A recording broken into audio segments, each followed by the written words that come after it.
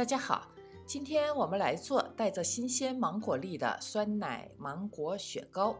屏幕上这些就是我们所需要的材料，这些材料的总重量是四百克。我一共做了八个雪糕，每个雪糕重量在五十克左右。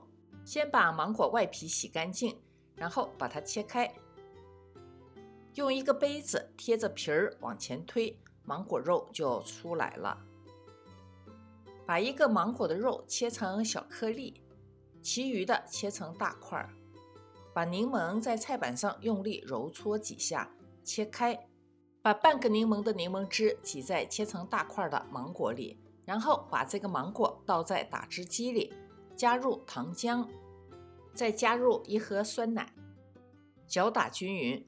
如果酸奶溅到打汁机的壁上，可以用勺子刮一下，然后继续搅打。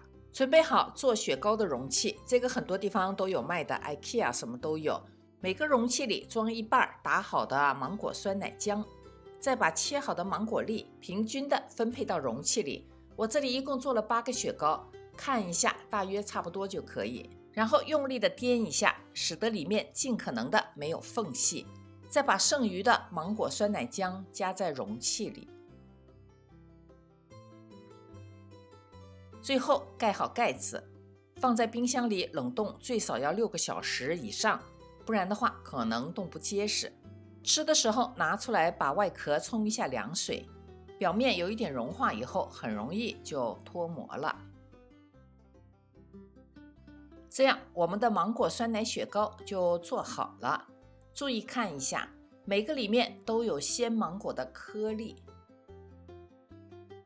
自己做的没有额外加水，比较柔软，很容易就融化了。所以我们吃一根儿才往外拿一根儿。